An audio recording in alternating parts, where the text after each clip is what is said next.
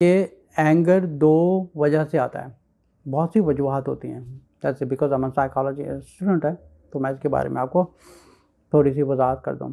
काफ़ी वजूहत होती हैं एंगर होने की। उसकी जो नंबर वन वजह ये होती है your background your father side your mother side वहाँ से भी ये लाइन आ सकती है।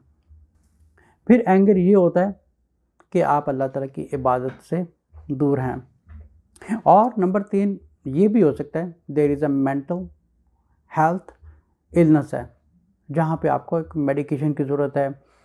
That is has to do with the depression and anxiety it could be any source of reason that is being आपकी जो मेंटली हेल्थ है, उसके ऊपर इफ़ेक्ट कर रही है, जहनी हालत पर इफ़ेक्ट कर रही है। So that's why you getting angry लेकिन क्योंकि अगर ये नॉर्मल गुस्सा है या कुछ है तो रसूल साल में हमें इसके बारे में बताया कि गुस्से को काबू करने का तरीका ये है कि सबसे पहले आप राइट वे अपनी साइड्स को बदलें। बैठे हैं तो खड़े हो जाएँ, खड़े हैं तो बैठ जाएँ, बैठे हैं तो साइड चेंज कर लें। और सबसे अच्छी चीज़ होती है वज़ू करना। आप वज़ू करें। राइट वे फिर आप उसमें पढ़े आऊज़ बिल्लाहि मैंने शैतान रजीम।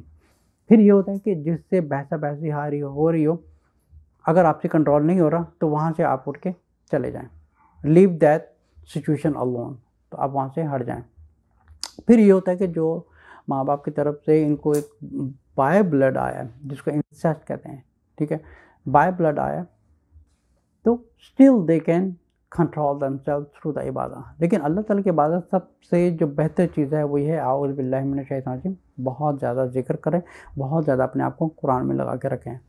लेकिन जहाँ पे आपकी सिचुएशन आए you need to learn to control yourself अपने माइंड को फोर्स करें टू कूल डाउन तो ये तरीका होता है एंगर मैनेजमेंट का और गुस्से को काबू करने का। लेकिन सबसे बेहतर तरीका है रूल ने बताया, वो है वज़ू करना। अपनी साइड चेंज करना पोजिशन चेंज करना, या उस जगह से आप उठकर चले जाएँ जिसके साथ बहस हो रही है।